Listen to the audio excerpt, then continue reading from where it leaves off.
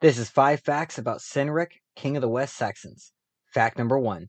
It is disputed whether he was the son of Cerderic or Creoda. Fact number two. During his reign, Wessex expanded to Wiltshire. Fact number three. His name means kin ruler or family leader. Fact number four.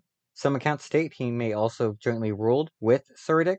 Fact number five. He won the battle against the Britons at Barbury Castle in 556.